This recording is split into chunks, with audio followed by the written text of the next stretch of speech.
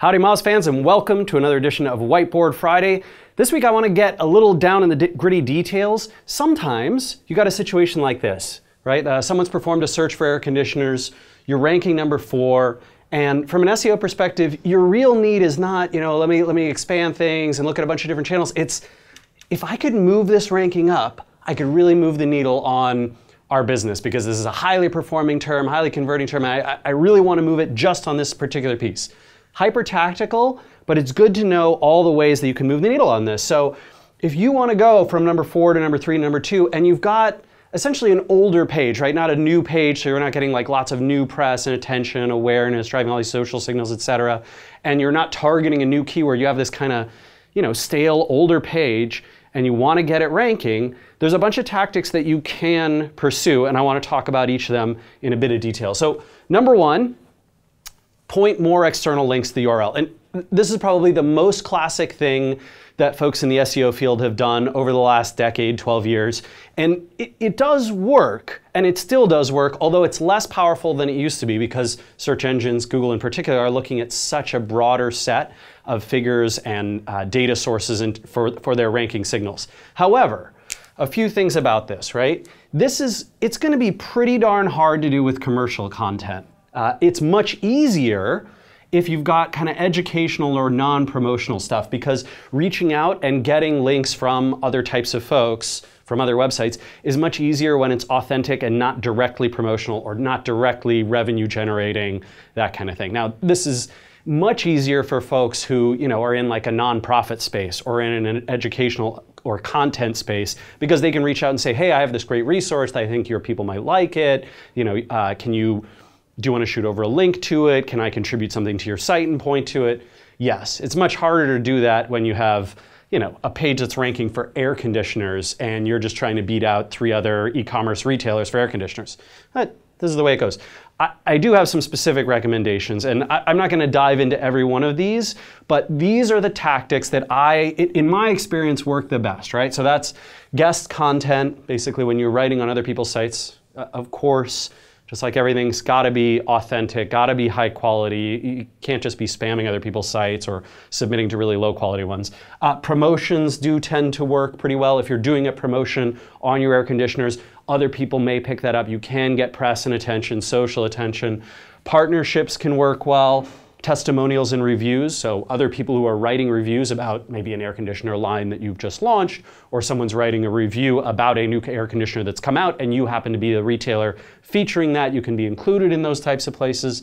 Uh, list inclusion, if you know about a list that already exists where people are covering places to get air conditioners online, you can get included in those. Again, be really careful. You don't want to go to those spammy generic directories. You want to be going to high quality lists. You know, uh, uh, CNET reviews is very different from uh, articles hyphen about hyphen electronics hyphen online dot info. Uh, apologies if that's your site. If not, we should register it. I'm kidding. Uh, press and blogs, of course, social media pushes. You can do, you know, especially if you've got something to announce around air conditioners. Summer's coming up, right? A Facebook page, a push on Pinterest, a push on Twitter or on Google+, uh, and link reclamation, meaning you go back and find places that used to link to you that don't anymore, places that used to link to your competition, but those links are now broken. You can go talk to those kinds of folks. Those are the kinds of techniques, link building techniques that have worked best in my experience. Just be, please be so super careful not to build the wrong links. I, you know, if you haven't watched it already, right? Matt, uh, Matt, Cutts has been tweeting and talking in video. Matt Cutts being the uh, the head of the web spam team at Google, talking about how they're going to be taking even more aggressive action than what they took with Penguin in a Penguin 2.0 algorithm that's coming out in the next few weeks. So just please be super cautious about where you're getting these external link sources from. And especially since links are a little less powerful than they used to be, and because uh, a lot of the linking sources are more dangerous than they once were, there's some other ways I want to mention. those including include increasing your click-through rate. Now, I don't want I'm not trying to say here that this is, you know, correlation equals causation or that it even implies that. But what we do know is more people clicking through on your listing means fewer people clicking through to your competitors and a higher chance that some of those people are going to take actions that we know does increase rankings. So things like linking to you and sharing you and, and those kinds of things, right? Your page is clearly providing a more compelling experience. That tends to be exactly what Google's algorithm is trying to accomplish. And so increasing your click-through rate can help with this. One of the ways that this can be done, and this is not to say that Google's sort of biased to people who do it, but if you supplement with PPC with paid search ads, it tends to be the case, and lots of people have tried different tests around this and gotten different performance, but on average, it tends to be the case that 1 plus 1 equals a little more than 2. I put 2.25 of that. that your, your mileage may vary. But basically, right, if I take a look over here and I've got uh, my air conditioner page and I also have an ad on the sidebar or on the top up here, it tends to be the case that the click-through rate here plus the click-through rate here is a little more than if I just had a paid ad or if I just had the organic listing. So two listings on the page, slightly you know, better than one and one. So that's, that's certainly an angle you can try. Again, I urge you to test this, not to just take it on blind faith. Uh, inc included in that test methodology should be testing modifications to the title and the description, right? So if your air conditioner page here has got a, a, description and a title and a URL. The URL matters too, and you can do things like 301 redirect the old one to a new one. This can move the needle.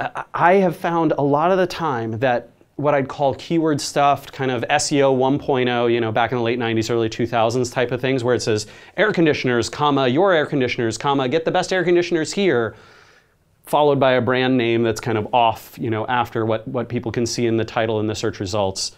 Doesn't perform nearly as well as a brand people recognize, a compelling title that, that has a little bit of authenticity, a little bit of your, uh, your brand and your culture and your uh, unique value proposition embedded right in the title and the description. And the same story with the URL. You know, lots of hyphens separating something, a longer URL, a dynamic URL versus one that has uh, readable keywords in it and, and readable text in there.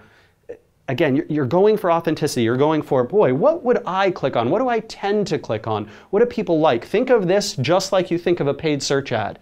You want to optimize all the areas of this and try and test it and get better performance out of that click-through rate.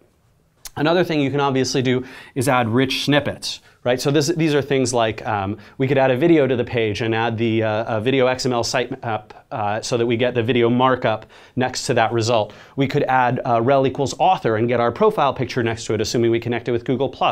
Some, for some types of rich snippet results, uh, recipes in particular, news items, you can add images and get those in there. For other types of results, air conditioners, right, any e-commerce result, you can have star reviews and number of reviews. All of those things can help them move, move the needle on click-through rate.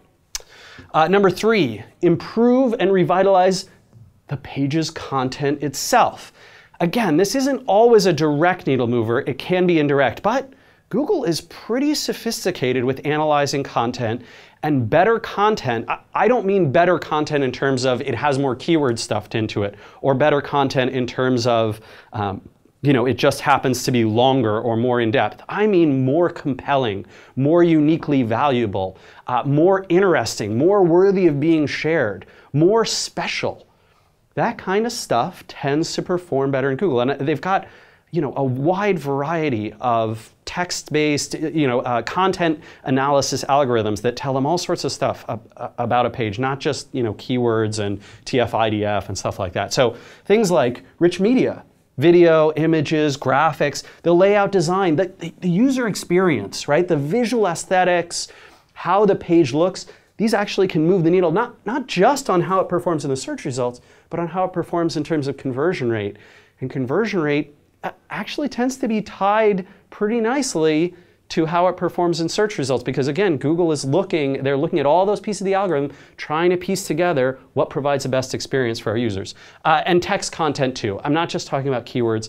I'm talking about that unique value. If you haven't seen the whiteboard friday on uh, unique value versus unique content should check that out. Number four i know i got i didn't have enough room so i switched sides.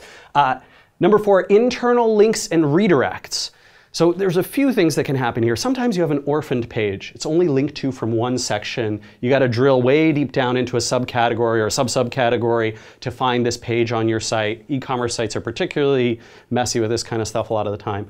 Make sure that the page is getting link love, internal link love, relevant internal link love. I'm not talking about stuffing, you know, an anchor text rich link in the footer of every page or, you know, the, the, the category section or something like that. I'm talking about when you have pages that are relevant to air conditioning. You've got a page on you know, uh, summer appliances, you have a page on electronics, you have a page on uh, what should homeowners be thinking about to upgrade their homes. Great. Make sure that you're linking to your air conditioner page. Those are relevant pages where people would want to see that. You know, if you're, if you're confused, do a uh, air conditioners, in quotes, search, site colon, your domain. See all the pages where you mention it and yet have somehow failed to link over to your air conditioners page that you actually got. Uh, and consolidation, this is a really powerful one. So this is essentially saying, I'm gonna take all the pages that are targeting that same term or phrase and 301 them all together. We, have done this a number of times on Moz because you know we'll have a bunch of old blog posts or old content pages that are all talking about exactly the same thing. And then we go, man, why do we have seven of these? And by the way, six of them are more than three years old let's just take those and 301 them back to the most relevant, most high quality content. And if we have some content that was on those other pages that we want to put on the existing one, let's do that. Let's consolidate so people don't get lost in terms of which is the most relevant page about air conditioners on your site. Google shouldn't be confused about that either. And that can, that can actually really move the needle. I've seen that a number of times pop us from page two to page one or pop us from bottom of page one to top five results, that kind of stuff.